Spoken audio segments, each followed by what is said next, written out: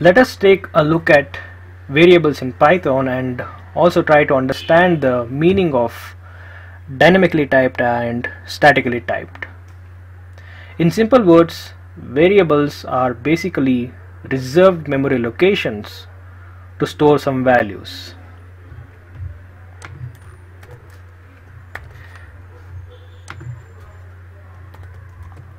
So variables are nothing but reserved memory locations to store some values. Let us try declaring a variable in Python. But before that, if we want to declare a variable in other programming languages such as Java or C Sharp, it is mandatory to also mention the data type as well. So let me just try to show what I am trying to say by writing a code or declaring a variable in in, in a Java compiler as a Java compiler. So I'll open up an online Java compiler. Let me open up the first one.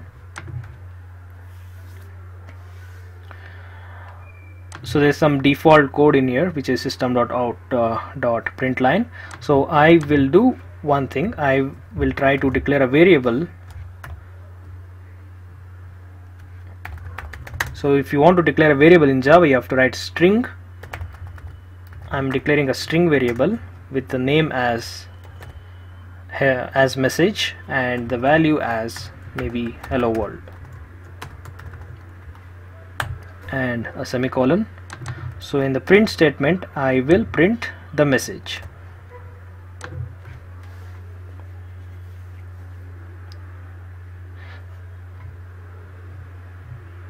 so I hope you understood what I'm trying to say. It's basically the it's important it's mandatory to mention the type of the variable while declaring the variable name. So it is mandatory to mention the variable type as well. Thus these programming languages are statically typed. But Python is dynamically typed which means that it is not mandatory to mention the type of the variable. For example we can simply write message equal to hello world. And to execute this cell I will execute I will write I will uh, type shift and enter and that is it. You don't have to mention the type of the variable. It will be decided in the runtime. So the type of the variable is decided in the runtime. So if we take a look at uh, let me try to print it as well. So if we take a look at the type of the variable by writing type of message it says it is a type of string. So basically the type of the variable gets decided in the runtime. Now let's do one more thing. We will simply reassign this variable with a number. So what I'm trying to say is I'll write message equal to 5. Okay, I'm just trying to reassign the value uh, initially it was a string now I'm trying to reassign with an integer let me try to execute it executed without any errors. So let us check the type of the variable now.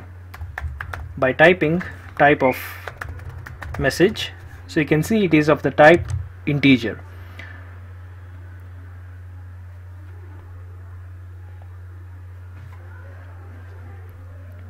Let us try to do the same thing in Java. Okay. We have declared string message equal to hello world and in the next line let me try to write message equal to 5 and click on execute.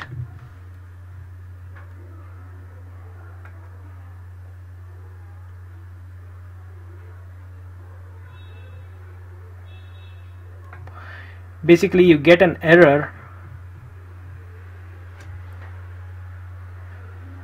Which basically means that you know uh, you cannot assign reassign the variable with you know uh, an integer so we cannot assign number to a string variable but with dynamically typed languages we can reassign the variable with whatever data type you wish to.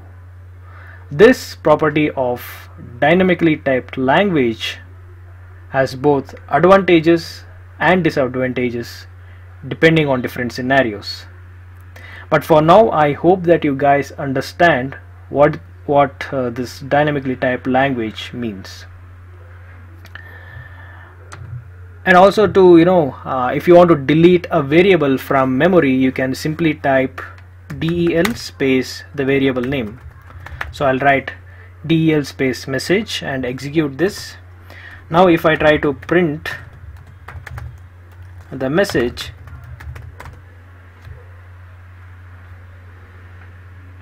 the error says uh, you know uh, not defined which basically means that it is not available or it is deleted from the memory